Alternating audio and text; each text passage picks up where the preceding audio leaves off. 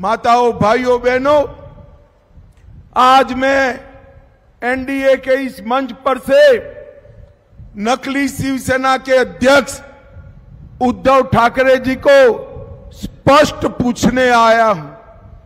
उद्धव जी, आप महाराष्ट्र की जनता के सामने स्पष्ट करिए, सीए लाना चाहिए या नहीं लाना चाहिए। पीएफआई पर बैन लगाना चाहिए या नहीं लगाना चाहिए? राम मंदिर बना अच्छा हुआ या बुरा हुआ? सीए आया अच्छा हुआ या बुरा हुआ? और ट्रिपल तलाक हटा, ये अच्छा हुआ या बुरा? मैं आपको बता देता हूँ कंफ्यूजन में मत रहिएगा।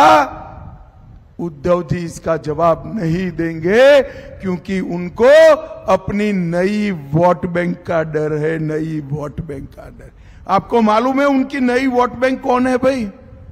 मालूम है या नहीं है? जो शरद पवार और कांग्रेस पार्टी की वोट बैंक थी, वो अब उद्धव ठाकरे की वोट बैंक हो गई है, जो ना पाकिस्तान का विरोध करेंगे ना कश्मीर में तिरंगा फहराने की बात